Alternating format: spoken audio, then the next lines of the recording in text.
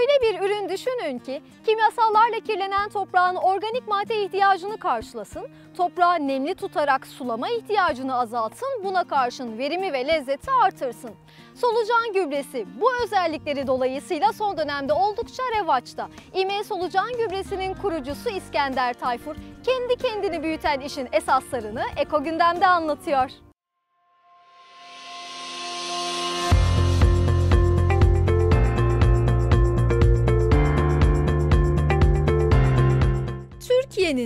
Turizm ve de sera başkenti Antalya'da Orta Asya ve Rusya pazarına yönelik turizm faaliyetlerini sürdüren girişimci İskender Tayfur ve ortağı Mustafa Mahsutoğlu, solucan gübresini cazip bir yatırım aracı olarak görüyor ve İME solucanı kuruyor. İş zaman içinde kendi kendini büyütüyor. Hep alternatif bir iş düşünmüştük. Sürekli düşünmüştük ama bunun solucan gübresi olacağı hiç aklıma gelmemişti. Yani e, açıkçası bununla tanışmam bir 3 seneyi falan buldu. Solucanların aslında işi kendiliğinden büyüttüğünü gördüm. Açıldığında 2 milyon, 3 milyon olan solucan sayısı şu an 50-60 milyonlara ulaştı. Üretim şimdilik 1230, 570 ve 600 metrekarelik 3 ayrı tesiste sürdürülüyor. Ancak hedef yıl sonuna kadar tesis sayısını 12'ye çıkarmak.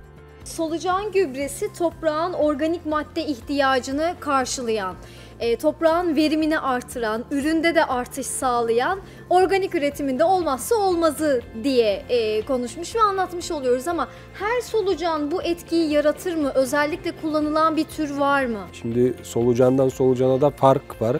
Bizim kullandığımız solucanlar kırmızı Kaliforniya solucanları. Bunlar e, oldukça obur bir cins. Tayfur, işin büyük kısmını solucanlar yapıyor. Bize sadece onları yemlemek kalıyor diyor. Ticari işletmelerde sizin gibi bu işi yatırım amaçlı da e, üstlenmiş kurumlarda fermante olmuş e, hayvan dışkısı, büyükbaş hayvan dışkısı kullanılmış oluyor. Hı hı. Peki ya evlerde? Evlerde daha küçük alanlarda ne veriliyor solucana? Şimdi solucan e, dediğimiz gibi organik gübre üretiyor. Dolayısıyla e, organik atıkların tamamını tüketebiliyor. Burada muz kabuğu, yediğiniz bir muzun kabuğu, ondan sonra işte asitli olmayan bütün meyvelerin kabukları, özellikle sebzelerin işte e, fermante olduktan sonra yani çürüdükten sonra kabuklarını rahatlıkla verebilirsiniz. Asitli olmadıktan Asitli sonra olmaması, evdeki evet, her türlü önemli. gıda artığını aslında atığını Evet. değerlendirmiş de Evet, oluyoruz. evet, evet. Tesiste gübrenin kesimi yapıldıktan sonraki işlemler şöyle sıralanıyor. Kırma makinesine geçirme için içini tespit ediyoruz. Eğer solucanımız içinde varsa, e, içinde e, çoğunluk oranında solucanımız varsa solucan ayıklama makinesinden alıyoruz. Ondan sonra e, kırma makinesine geçiyor.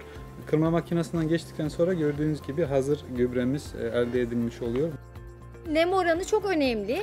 Siz ilk etapta kurutuyorsunuz. Nemin azalmasını sağlıyorsunuz. Evet. Kaç olması gerekiyor neminin? Şimdi nem oranı 15 ile %15 ile %20 arasında olması gerekiyor ki içindeki organik maddeyi %40'larda muhafaza edebilelim.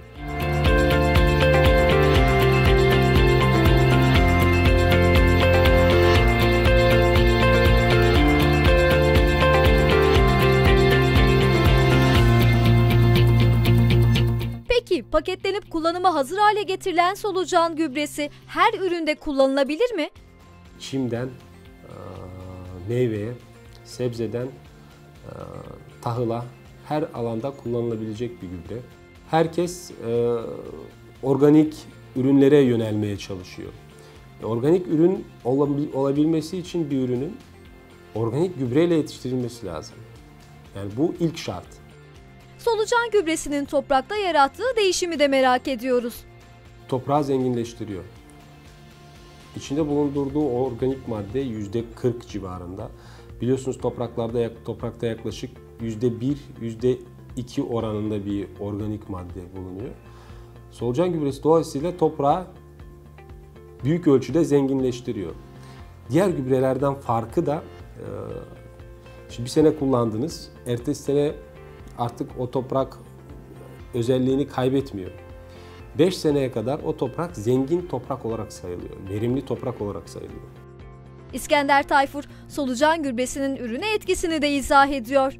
Özellikle çilek ve mantar üretici- üreticilerinde yaklaşık %70 gibi bir üründe artış, lezzet, koku gibi çok çok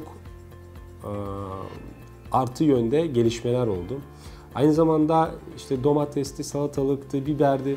Bu ürünlerde de yaklaşık %40 ile 50 arasında hem ürün sayısında artış hem de kalite olarak tat, koku bu, bu özellikleri itibariyle çok çok fark ettiğini gördük. Tabii burada en önemli nokta solucan gübresinin hangi dönemde kullanılacağı. Ekimden önce veya ekim yapıldığı dönemde solucan gübresinin kullanılıyor olması. Yani belli bir süre beklenmeden. O zaman daha etkili oluyor tabii. Çiftçilerin solucan gübresi kullanımına olumlu baktığını öğreniyoruz. civarımızdaki seralarla artık çalışmaya başladık. Civar, civarımızdaki seralara numuneler vererek, onları teşvik ederek e, birkaç senedir e, yaygınlaştırmaya çalışıyoruz. Ama Kumluca'dan, Finike'den duyup da gelip bizden gübre alan e, müşterilerimiz de tabii ki var. Türkiye'deki solucan gübresi ihtiyacının henüz %1'lik kısmının karşılanabildiğini dile getiren İskender Tayfur, yeni açılan işletmelere destek verdiklerini dile getirerek sözlerini noktalıyor. işletmenin tam olarak oturmasını sağlıyoruz. Tam olarak çalışmaya başlamasını sağlıyoruz. Ve belli korkular işte yapabilir miyim acaba? Acaba çok mu zor gibi korkuların aşılmasını sağlıyoruz. Biz e, tesis kurulduğunda artık işte e, solucan mamasından satışına kadar yani ürün nereye satacağını da düşünmüyor. Çünkü alım garantisi de veriyoruz.